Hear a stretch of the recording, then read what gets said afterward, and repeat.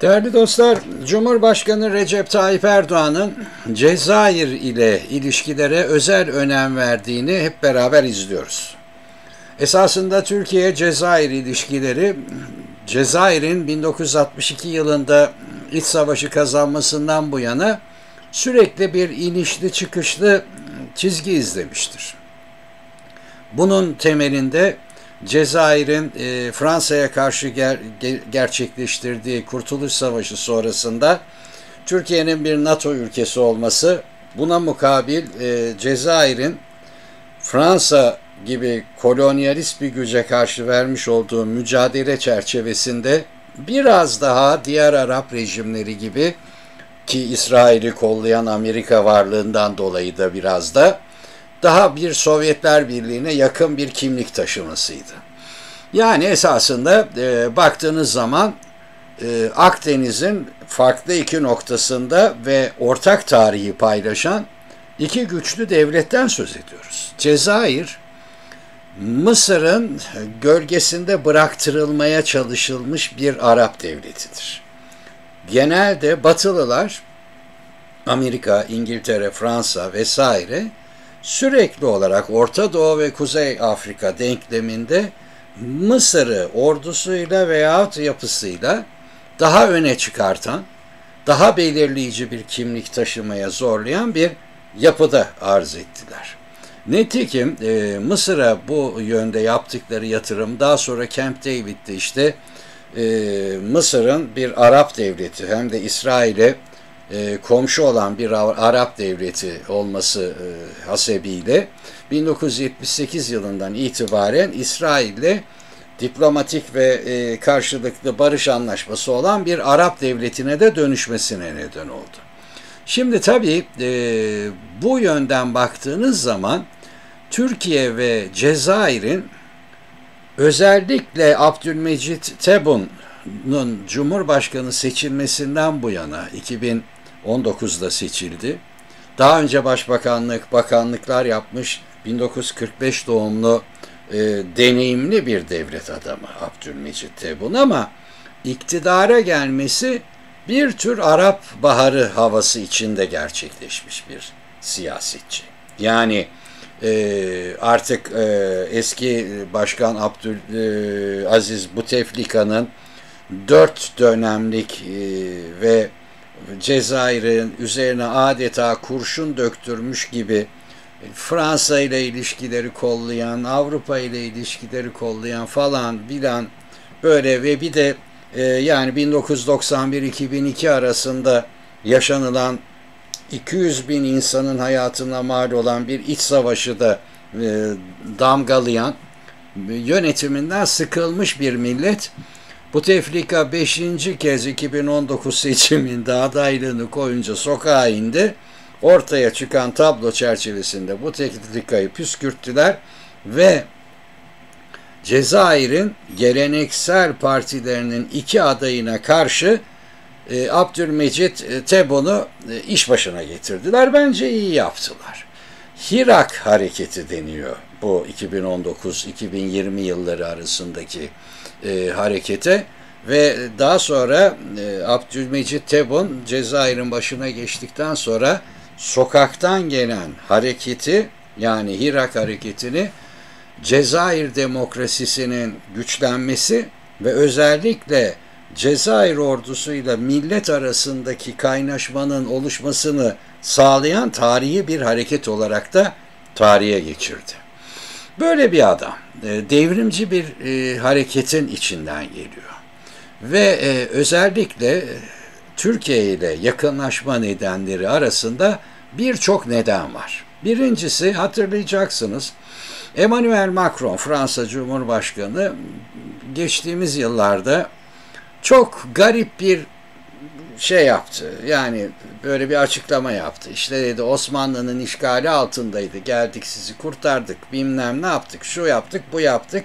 Yani e, Türkleri Cezayir'de işgalci zavallı Arap e, halkını da işte onlardan kurtarmış adam falan rolleri e, çizince Türk Dışişleri Bakanlığı sanıyorum 2020 idi çok sert bir açıklama yaptı. Bu dedi büyük bir ayıptır. Tarihin karşısında büyük bir ayıp yapıyorsunuz. Biz bir şey yapmadık. Üstelik Cezayir milletine bu nasıl bir hakarettir diye. O günden sonra birdenbire e, Türkiye-Cezayir ilişkileri bugüne kadar hiç görülmemiş ölçekte güzel bir noktaya doğru e, tırmandı. E, Abdülaziz Bouteflika'nın e, en son Türkiye'ye gelişi 2005 yılındaydı. E, ve sonrasında 2022 yılında yani bu ziyaretten 17 yıl sonra e, Abdülmecit Tebun Ankara'ya geldi ve e, Yüksek Düzeyli İşbirliği Konseyi ilk toplantısı Ankara'da yapıldı. Cumhurbaşkanının dün yapmış olduğu ziyaretteki toplantı ikinci toplantı Cezayir'de. Fakat bu arada Türkiye ve Cezayir Batı yanlısı, çok aşırı Batı yanlısı Arap devletlerinin dikkatini çeken müthiş bir yakınlaşmaya doğru girdiler. Yani e, Cezayir açık ve net bir şekilde Libya'da, Libya müdahalemizde bizim yanımızda yer aldı ve sorunları birlikte çözebilecek bir kapasite oluşturdu. Zaman zaman bir Kuzey Afrika'nın güçlü devleti olarak Libya'daki savaşan tarafları da e, Cezayir'e çağırarak onların e, Türkiye'nin de görüşleri çerçevesinde belli bir toparlanma sağlamasını sağladı. Ee, Doğu Akdeniz'de yürütmekte olduğumuz buna bağlı olarak mücadelenin tam desteğini verdi. Ve e, özellikle bu iki olayla beraber Türkiye-Cezayir ilişkileri farklı bir boyuta yöneldi. Ama en önemli boyutu bu ilişkinin gerek Cezayir'in gerekse Türkiye'nin, gerek Abdülmecit Tabun'un, gerekse Recep Tayyip Erdoğan'ın en kararlı Filistin destekçisi iki politikacı olması. İşte bu zaten Birleşik Arap Emirlikleri, Suudi Arabistan, Mısır, Ürdün gibi e, Filistin konusunda, İsrail ilişkileri konusunda yanar döner davranan bütün rejimler açısından ciddi bir alarm. Bence çok büyük bir stratejik atak Türkiye ve Cezayir için. Zaten varılan 13 anlaşmadan biri artık e, işbirliği e, konseyinin adını değiştirtti. Diyor ki yüksek düzeyli stratejik işbirliği konseyi. Yani artık Türkiye-Cezayir ilişkisi stratejik işbirliğine yöneliyor.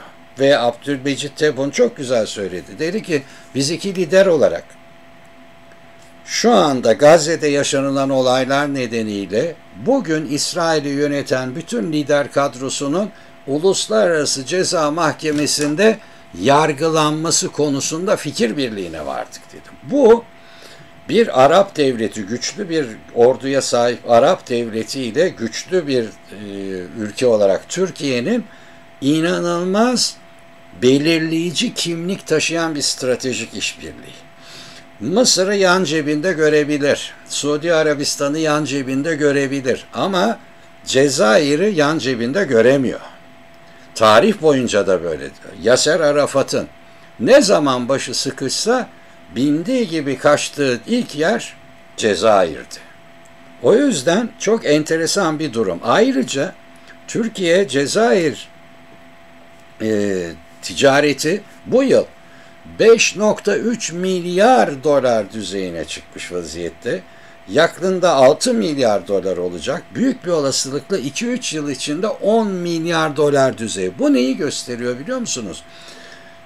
Fransız kolonyalizminden hesap soran, gerçekten ulusalcı bir karakter olan Abdülmecit Tebun'un bütün ekonomik ilişkilerde Fransa'yı def ettiğini ve yerine Türkiye'yi aldığını gösteriyor. Bu çok önemli bir davranış. Abdülmecit Tebun 2020 yılından bu yana ısrarla Fransa'nın ülkesinde gerçekleştirmiş olduğu 132 yıllık sömürgecilik ve özellikle 1954-1962 arasındaki kan dökmeleri nedeniyle özür dilemesini istiyor. Macron ise ben e, Cezayir'den özür dilemeyeceğim diye direniyor. Böyle bir durumla karşı karşıyayız. O yüzden Türkiye'nin Mısır'la fazla yakınlaşmasına karşı çıktığım gibi Türkiye'nin Cezayir'le stratejik işbirliğini güçlendirmesine de bütün gücümle destek veriyorum. Çünkü Cezayir antikolonyalist, antisömürgeci, kurtuluş savaşıyla kendini ispat etmiş, Türkiye ile ortak karakterleri olan bir Arap devletidir. Türkiye ile Cezayir'in bu şekliyle yakınlaşması ve güçlü bir ittifak kurması kuşkusuz hem Kuzey Afrika hem de Orta Doğu'daki ilişkileri büyük ölçekte değiştirecek bir kimlik taşımaktadır. O yüzden hayırlara vesile olsun diyorum stratejik işbirliği. Hoşçakalın.